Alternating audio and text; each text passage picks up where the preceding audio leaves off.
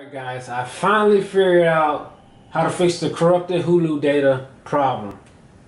After a month without having no source of watching my favorite episodes. So what you're gonna do is you're gonna go to the Hulu app, you're gonna hit the options button, and you're gonna delete it. Get rid of it. I know you've probably tried this a thousand times, but there's more to the step. You go after you delete the app, you're gonna go to settings. After you hit settings, you're gonna scroll down until you see system storage management. Then you're gonna scroll down and you're gonna go to save data.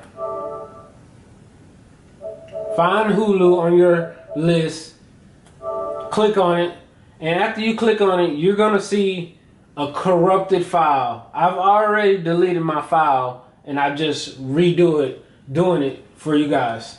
So delete the file, and after you delete the file, you're gonna go back and reinstall Hulu. And after you reinstall Hulu, bam, it'll be back, ready to download. Good to go.